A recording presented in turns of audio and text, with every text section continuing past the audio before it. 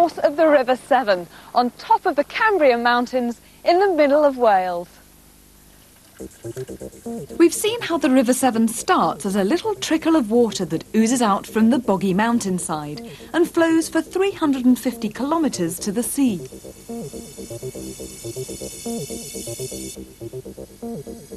We've seen how settlements have grown up alongside the river. And we've seen how people use the river for transport.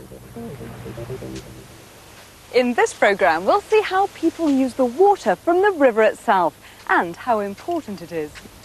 Altogether, people take around 1,500 million litres of water out of the River Severn every day. Here, the river's passing through fields of growing crops. So, one thing the river water is used for is watering those crops. This is called irrigation. Dotted along the banks of the Severn, you can see hoses pumping water out of the river. On streams leading into the river, it's the same story.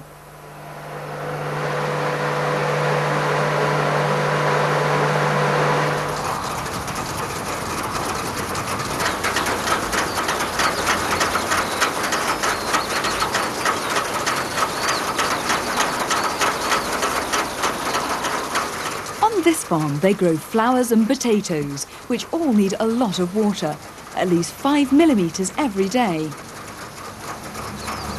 Michael Bubb, the farmer, explains how they do it. We measure the rainfall in a little thing like this, which tells us how much rainfall we have in a day, and five millimetres is quite a considerable amount. You would be really soaked uh, with that amount, and so if we don't get the rainfall, we make it up with irrigation water. So it doesn't matter where the water comes from, as long as we have enough to keep the plants growing. So what kind of equipment do you use to spray your crops?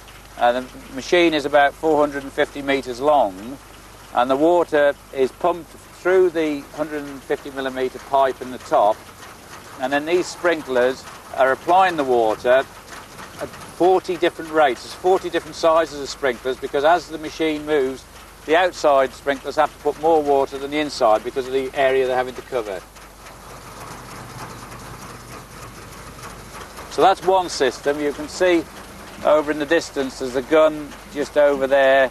That's applying uh, about 200 gallons a minute through a, um, a traditional hose nozzle and that moves down the field.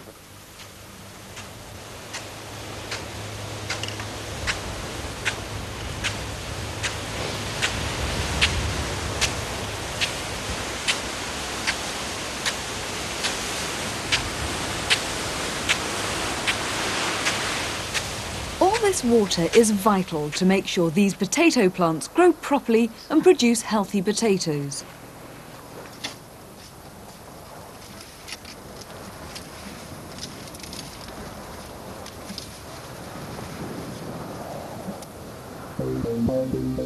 In dry weather, farmers along the River Severn can take up to 150 million litres of water a day to spray onto their crops.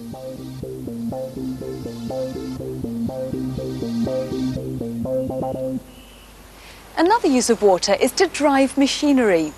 In many places, mills were built on the streams that flow into the River Severn, taking advantage of the power of running water.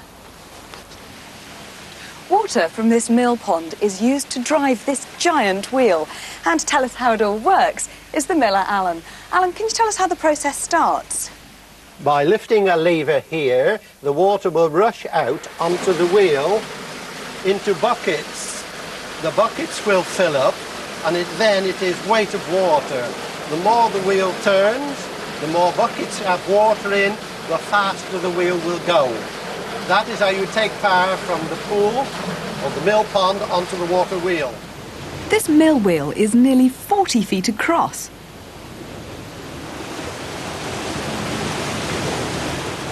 It's made of cast iron, with a great gear wheel mounted on it. The big gear turns a smaller gear in the side of the mill wall, which turns a wooden shaft inside.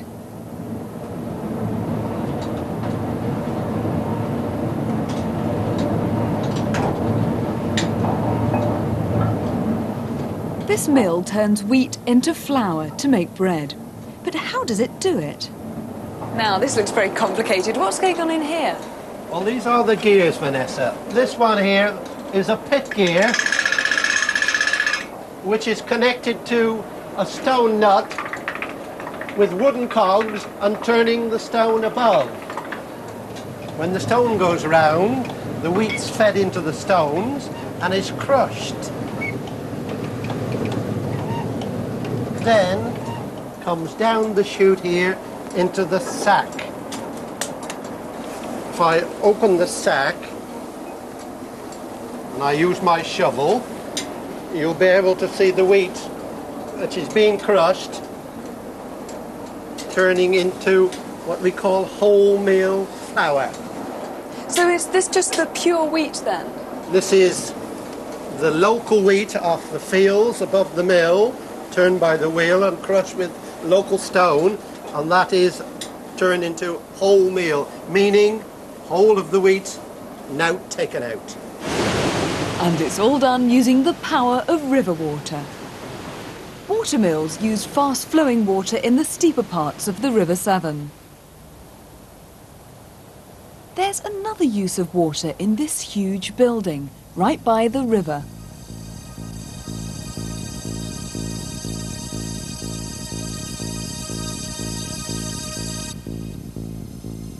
This is the power station at Ironbridge.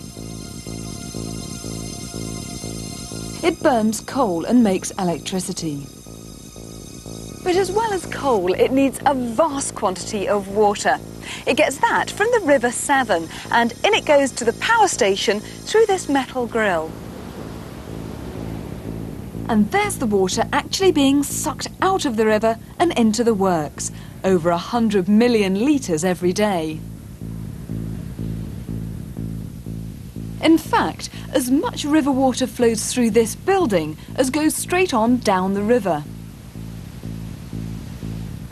Jenny Collett showed me round, but we could hardly hear each other because of the noise from all the machinery.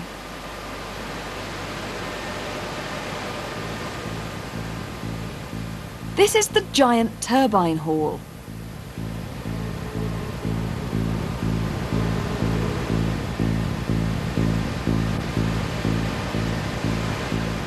The first thing they use river water for is heated up to make steam.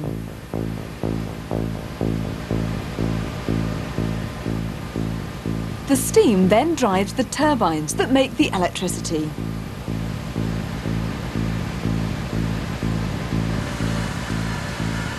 There's a massive pipework in here, carrying steam and water round the building.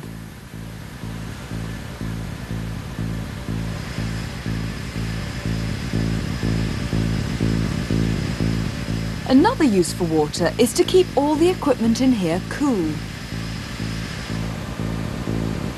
But once the water's done its job, it becomes hot and has to be cooled down itself.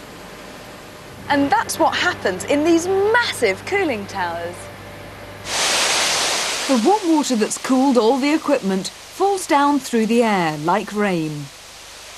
This cools it down.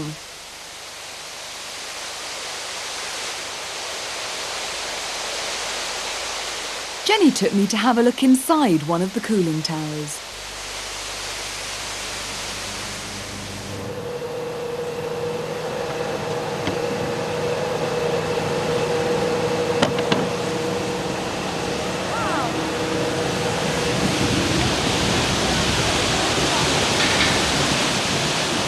Some of the water in here turns into a fine mist that rises up inside the tower. It comes out of the top like homemade clouds. And 30 million litres of River Severn water blow away on the breeze.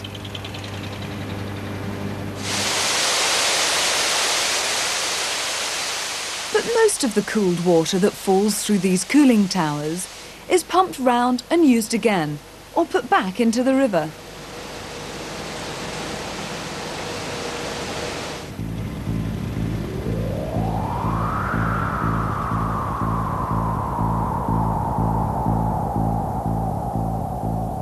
There are two large power stations that use water from the River Severn.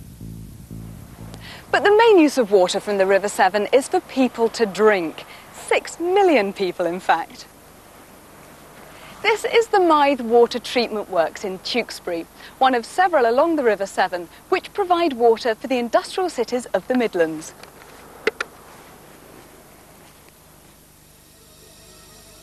Water treatment works like this are built by the river because that's where they get their water from. This one takes 100 million litres a day out of the River Severn. This is where the water's taken from the river, but before it's safe to drink, all kinds of special processes have to happen to it, which is something that Kate Vickers from Severn Trent Water can tell us all about. Kate, what's going on down here? This is the river intake. This is where the water from the river goes into the works. And these big screens are to stop all the big bits of rubbish and whatever getting from the river into the works. So, what are these screens filtering out? They're stopping things like old bottles, bits of wood, and even some dead fish down there. Although the nasty big objects have been caught, there's still much more that has to be done to clean up the river water. So, what have we got down here? These are settlement tanks. What happens is the water comes in at the bottom of the tanks and goes up, and all the bits and the dirt drop down and drop to the bottom of the tanks. And as you can see, the clear water comes out through these channels and flows out there onto the rest of the works.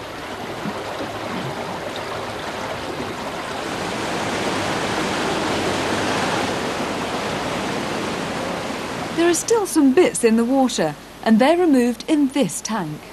Now, this water looks a lot cleaner. What's going on here? This is a sand filter bed. What happens is the water comes in and then flows down through a bed of sand. And what happens is that all the little bits that haven't been taken out by the other processes are caught in between the grains of sand, and the water that goes out is a lot cleaner. This is what happens in the sand filter bed. You can see how the sand cleans the water. Particles of dirt are trapped by the sand as the water flows down the tube.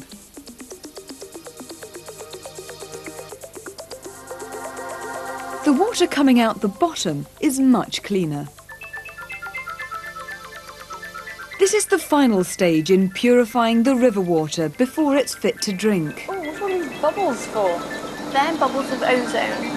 They come in the bottom, bubble up to the top, and dissolve in the water. And they're used to kill any remaining little bugs that are left in the water. The river water is now safe and clean. The clean water, ready to go off to customers, is kept in reservoir here under the front lawn. There are nearly 20 million litres of water in these tanks. Along the River Severn, there are seven water treatment plants, all taking water from the river to supply towns and cities like Shrewsbury, Worcester, Gloucester, and Bristol. With other people taking water from the river, it would dry up before it reached the sea. However, a lot of water finds its way back into the river to keep the water flowing. Much of this is wastewater and sewage from homes and industries.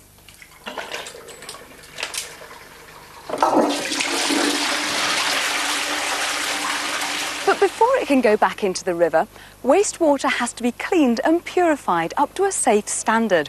And this happens at a sewage treatment plant, like this one in Shrewsbury. In fact, along the River Severn, there are six sewage works that treat water from the towns and cities and put it back into the river.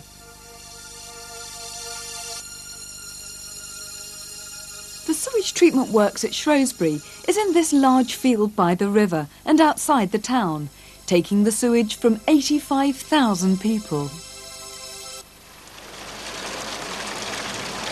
Well, I've come to meet Ken Lear, who's going to tell me how it all works. Ken, how does the rather revolting sewage that leaves our house end up as clean water?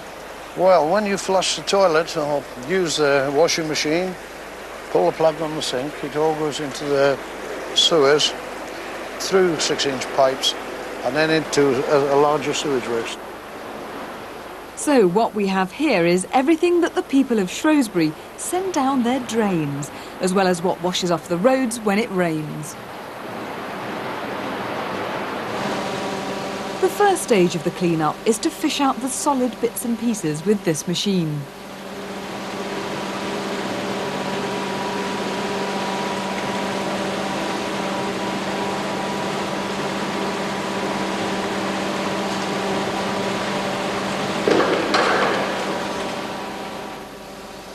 Some surprising things get flushed down the toilet.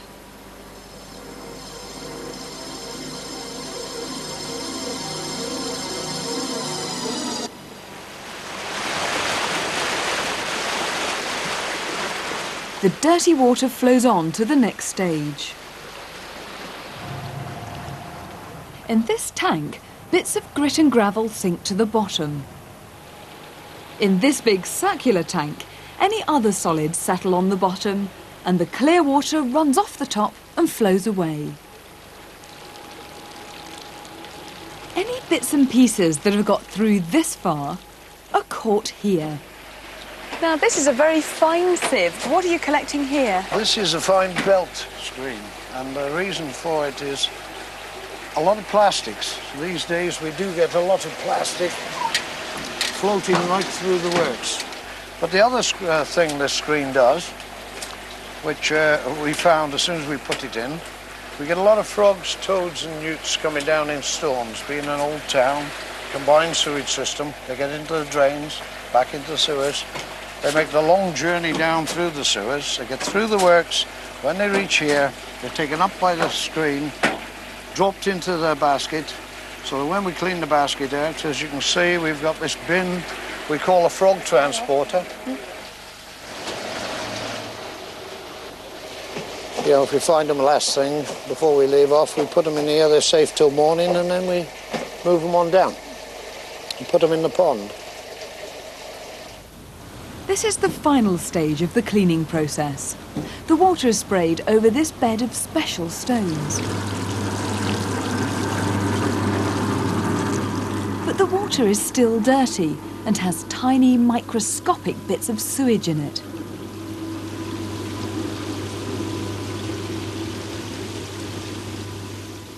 So the stones have bugs and beasties living on them, like fly larvae, bacteriological slime, and even worms. All these bugs actually eat the remaining specks of sewage and make the water clean. It's a completely natural process. So the water that started off in the River Severn and was cleaned up and used by someone is ready to go back to where it came from.